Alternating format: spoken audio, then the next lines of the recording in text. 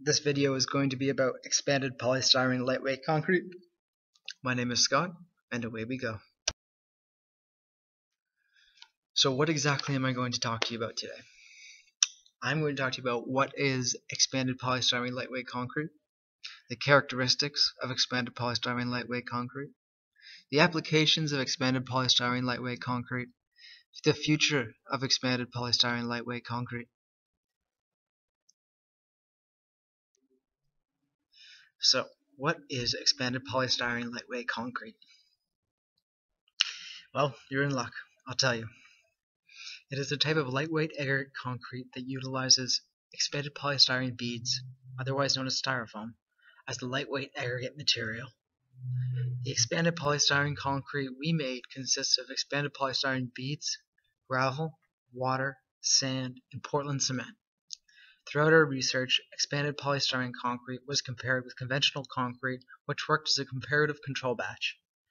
In order to determine the mix design of our expanded polystyrene concrete, we first calculated the mix design of 25 MPa conventional concrete and then replaced 50% of the coarse aggregate with expanded polystyrene beads by volume.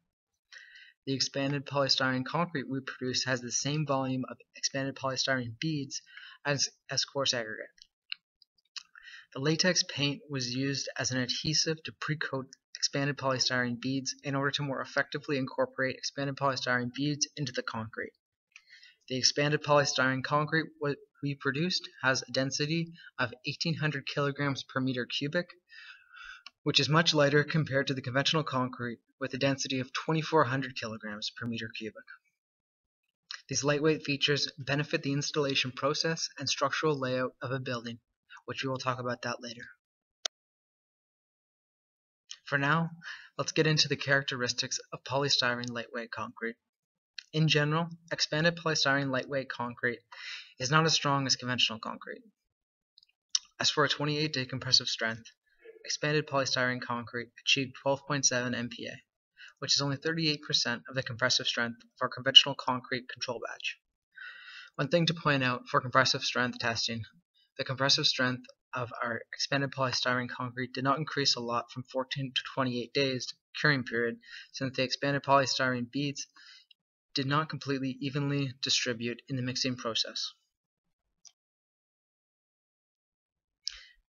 As for a 28-day splitting tensile strength test, expanded polystyrene concrete achieved 1.5 MPa, which is about 56% of the conventional concrete control batch.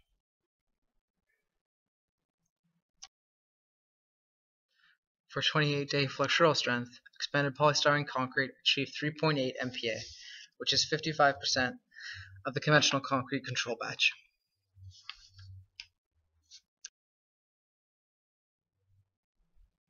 Okay, so one thing to point out before we begin is that expanded polystyrene concrete requires less material to be extracted from the environment in order to produce.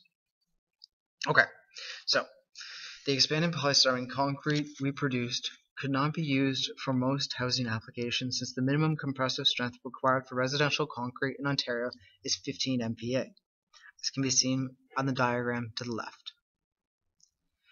But here lies the silver lining. Expanded polystyrene concrete can be used as above ground concrete masonry blocks that are not exposed to weather, as can be seen in the cutout of the Ontario Building Code on the right. Also, it can be used as backfill and structural fill by lowering the slump. We propose this to be done by further increasing the amount of expanded polystyrene beads and adding more water, which consequently would further decrease the concrete strength, thereby classifying it as a controlled low strength material.